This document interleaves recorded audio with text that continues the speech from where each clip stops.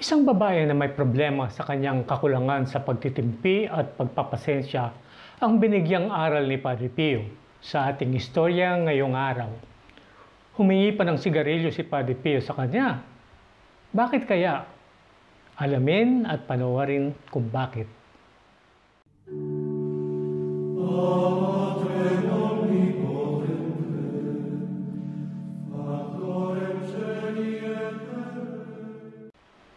At bago tayo po magpatuloy, mais kong anyayahan ang mga bagong tagapanood na mag-subscribe, mag-like, mag-komento at i-share ang video ito kung ito inyong naibigan. Pindutin lang ang subscribe na button sa ibaba at ang uh, kampanilya sa kanan nito. Gawin ito at isasama namin kayo sa aming pamisa sa susunod na biyernes. Suportahan ninyo kami upang maipalaganap namin ang pagkakakilanlan sa banal na buhay ni Padre Pio sa sambayanang Pilipino. May isang babae na madalas mangumpisal kay Padre Pio. Isa siya sa kanyang tapat na espiritual na mga anak na babae. Siya ay may malakas na personalidad at uh, mainitin ang ulo. Alam na alam niya ang kanyang pagiging mapusok at ang kanyang mga kahinaan sa kanyang karakter. Taos puso niyang sinubukang uh, pagtagumpayan ang kanyang mga pagkakamali. Ngunit tila ba mahirap itong labanan. Sa isang pagkakataon, dumalo ang babae sa isang uh, relihiyosong dula na ginanap sa bulwagan ng simbahan sa monasteryo ng Our Lady of Grace. Naroon si Padre Pio kasama ang lahat ng iba pang mga kapuchino upang manood ng pagtatanghal. Punong-puno ang bulwagan ng gabing iyon. Nang matapos ang uh, pagtatanghal, sinundan ni Padre Pio ang iba pang mga kapuchino abalik sa simbahan. Nang matapos ang pagtatanghal, sinundan ni Padre Pio ang, ang iba pang mga kapuchino pabalik sa simbahan. Nagkataong naglalakad ang babae sa tapat ni Padre Pio habang tinatahak niya ang daan patungo sa simbahan.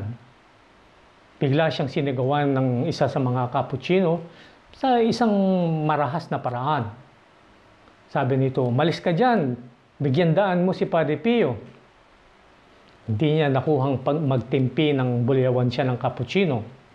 Nakaramdam ng labis na pang-insulto ang babae kaya't sinigawan niya ang kapuchino. Hindi, hindi ko gagawin ang sinasabi mo. Hindi ako nakakasagabal sa inyo. Isa kang masamang pari, punong-puno ka ng kapaitan. Nagalit ang kapuchino sa mga salitang binitawan ng babae kaya namula ang mukha nito.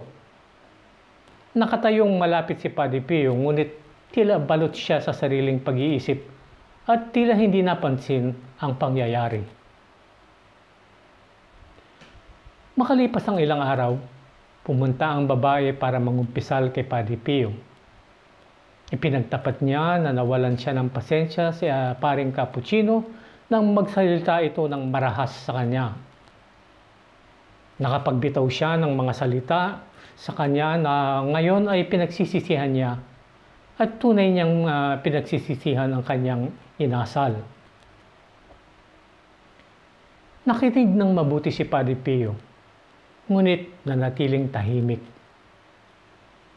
Hinintay siya ng babae na sumagot, ngunit hindi niya ito ginawa. Padre Pio, narinig niyo po ba ang aking uh, pangungumpisal? Sinaktan ko ang isang pari.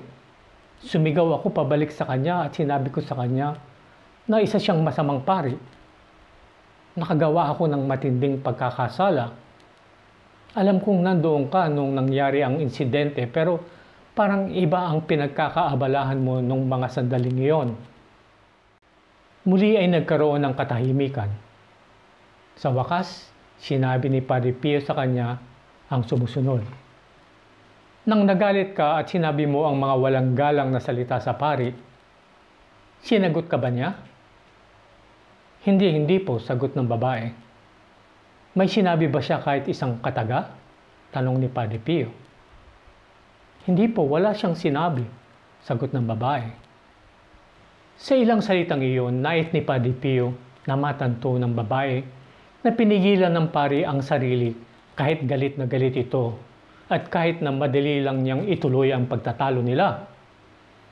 Sa kakaunting salita, nailahad ni Padre Pio ang kanyang punto.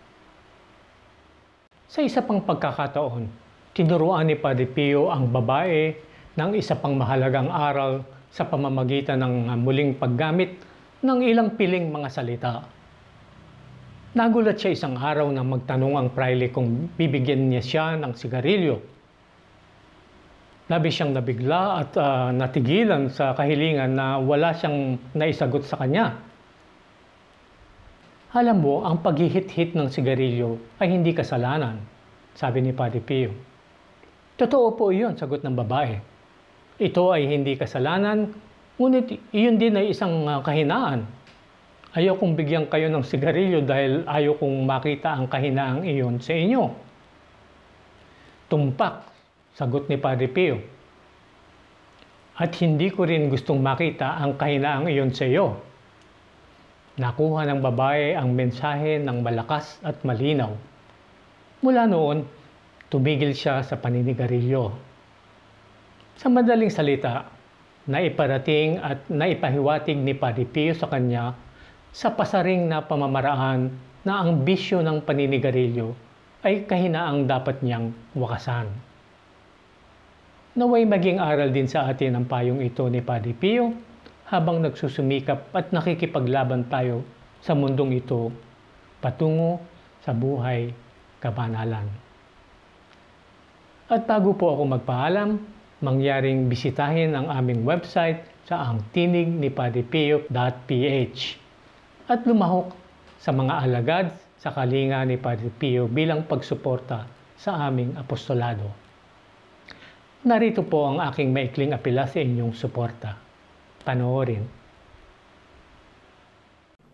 Mga kapanalig, ayon sa banal na kasulatan, mababasa natin sa Timoteo, Kapitulo 6, verso 18 hanggang 19 ang sumusunod. Utusan mo silang gumawa ng mabuti at magpakayaman sa mabubuting gawa. Maging bukas palad at matulungin sa kapwa.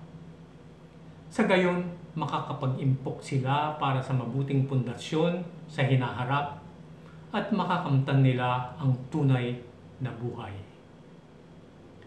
Sa pamamagitan ng pagiging isang miyembro ng mga alagad sa kalinga ni Padre Pio, matutulungan ninyo kami na magbigay ng inspirasyon sa mga tao na huwag mawala ng pag-asa at pananampalataya sa Diyos sa ating panahon na talaga namang mapagsubok.